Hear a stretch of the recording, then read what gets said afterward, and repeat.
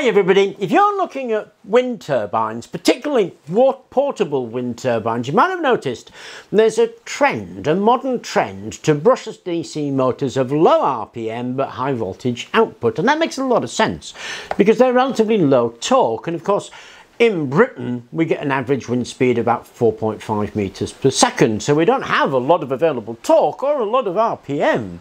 And if you want to buy one of these motors, they are depressingly expensive, and that's the worry about them. It would be much nicer if we could use a motor that we just have lying around and that you can buy for a few pounds or pick up for scrap. Now, I'm going to do it on the motor here because this motor of course is absolutely everywhere. But what we're doing applies to any of this kind of motor irrespective of the size because if we take that apart and pull it to pieces what we'll get is this. This is a really popular motor. This motor is um, quite depressing actually. If we were to take this out of the gearbox, which is right here, and spin it by hand, we'd probably get about 0.2, 0.3 of a volt out of it because we need to gear it to get speed out of this before we start getting the voltage. And of course once you gear it you do get speed but you need very much more torque in order to turn it. And we don't have a lot of available torque so it would be really cool if we could change this motor which is a brushed DC motor into a brushless motor that had low RPM, low torque, but high voltage output. Now in order to do that, what we need to do really is have a look on the inside. Okay, now we've got it apart. There's the body and it has a bearing right there and of course down there you can see the magnets and they're um, oh, ferrite magnets I think Put that to one side. Here's the rotor. This is the cap. And on the cap, you can see the brushes there because it was a brush DC motor. If you look on the rotor, there's the commutator right there. And have a look at those coils. If we look at those coils, that wire is pretty thick, and that wire is pretty thick because it's got to take a lot of amps, but there isn't much of it. So what we're going to do is rewind this rotor. So as we follow that wire, we can see it begins there and we unwind it and it unwinds in an anti-clockwise rotation, which means it was wound clockwise.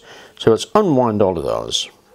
When you've unwound it, what happens is it goes into that section of the commutator. There's a clip actually on this, and then it comes out, and then this one again is anti-clockwise. So again, that has been turned clockwise. So there's a start point, turn it clockwise, into the clip, out, turn it clockwise into the clip out, turn it clockwise and finish it. Now there's 24 turns of 0.6 mil gauge wire.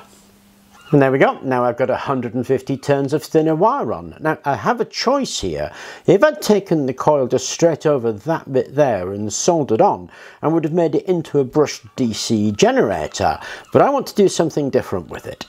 So over the commutator I've fitted this large bearing, it's 21mm by 15mm. And that means that Instead of turning this bit as we used to, if we fit the body over it, we'll be able to turn the body and this stays still. So this becomes the stator and this becomes the rotor. In order to center that, I've 3D printed a centering ring. You could of course just cut this from a bit of plastic, but that goes into the body and over. There we go, over the bearing like that. Okay, and that's it finished. Now, instead of it turning on the axle, if we grip the axle,